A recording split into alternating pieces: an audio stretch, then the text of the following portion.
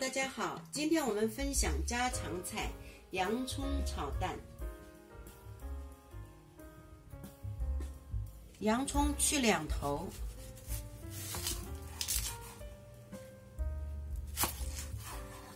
一破二，剥去缩水的外皮。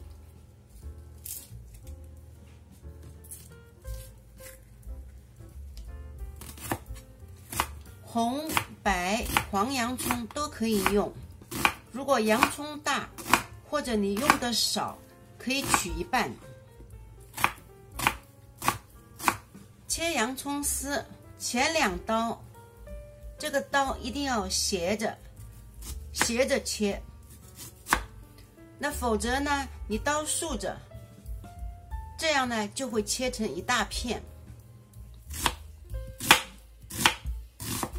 一点点竖起来，切到过半后，洋葱这样这样倒一下，就不会有一大片一大片的情况了。接下来蛋打开，先调味，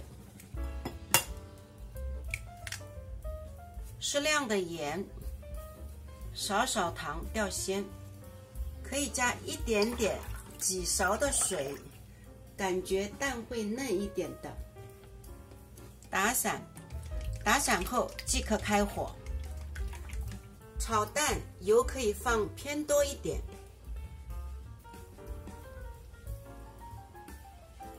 油热，洋葱先下去煸炒，给它这样压一压，它就会散开来了。撒几粒盐花，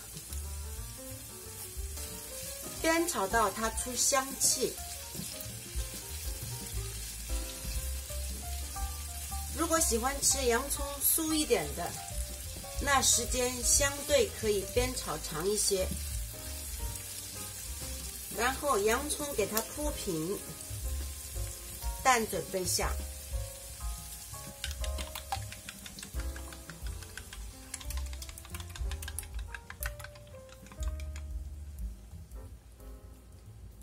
先不用急着动它，不用担心它不会焦的。给它这样慢慢的、慢慢的漏下去一点点，不用急着翻炒。这样呢，成品后的洋葱和蛋就会接在一起，看它结块抱团了。就可以翻动了，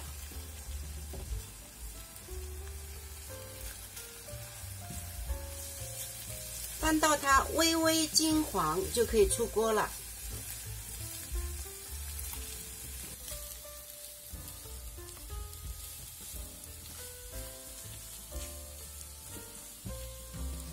那如果手头上有青葱的话，撒一些葱叶，视觉会更好。